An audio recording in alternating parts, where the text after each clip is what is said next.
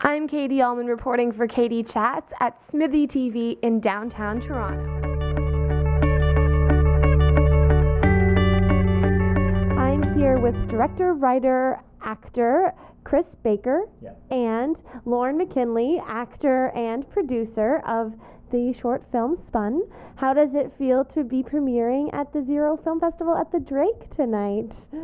Great. Incredibly exciting. Very good. Good. Yeah, it's nice to be recognized for the work that we did. And tell me a little bit about how you came up with this uh, premise for a film about someone finding a lost love on Facebook. Well, actually, Chris wrote it, so I'll let him answer. So yeah, I I was um, I reconnected with a friend of mine from high school on Facebook, uh, and we got together for a drink. I hadn't seen each other in ten years, and we were talking about all the things that happened when we were kids, having a big nostalgic conversation.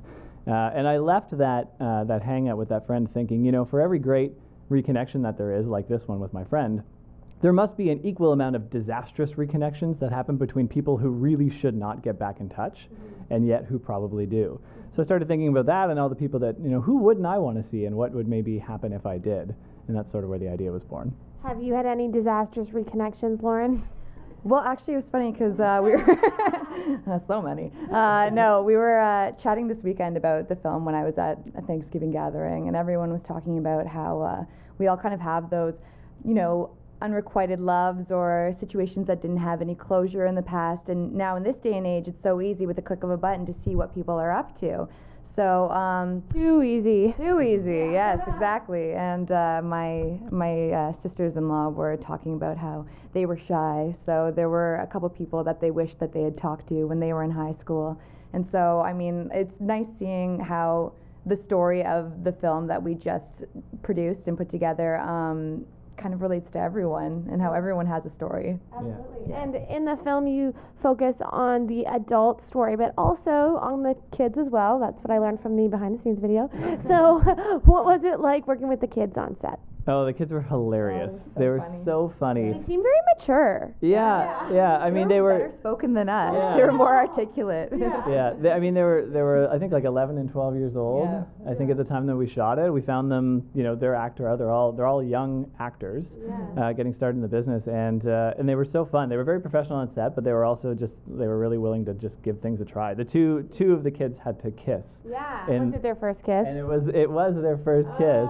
Gross. Like, and that, that was their reaction. It was like, ah, but the other one was like, I'm kind of interested, but I'm sort of not interested.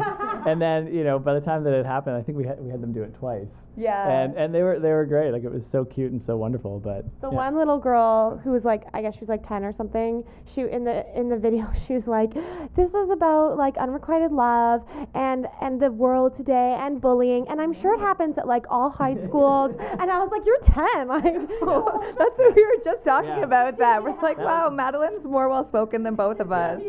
Madeline really she she really hit the nail on the head there for us. Yeah, yeah. It's about everything. It's about growing up. It's Yes. about yeah. yeah, yeah. And you guys have worked together a lot before. Um, so tell me, what do you think is next for this powerful duo?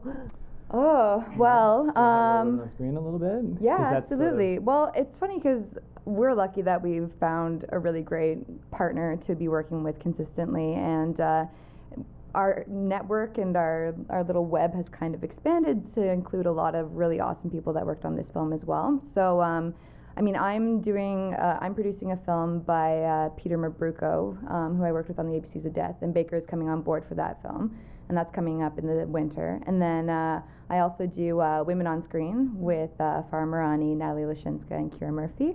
And uh, Chris's wife is actually one of our writers this year, and so we're uh, we're producing and uh, um, developing her film in our short film incubator. So, and he's always been a huge supporter of uh, Women on Screen. Go women. Yay, women! Ooh. And where's the best place for us to find out more information on Spun and on Women on Screen and all of your other projects as well online? Well, for Spun, you can check out our website at uh, spunshortfilm.weebly.com. And for Women on Screen, Uh, Women on Screen is just www.womenonscreen.ca, and you can follow us on Twitter at Screen Women. That's uh, Screen W M N. Perfect. Yeah. Well, thanks so much, and it was great seeing you again, Lauren. Nice to meet you, Chris, and best of luck. thanks, Katie. Thanks. I'm Katie Uhlmann reporting for Katie Chats in downtown Toronto.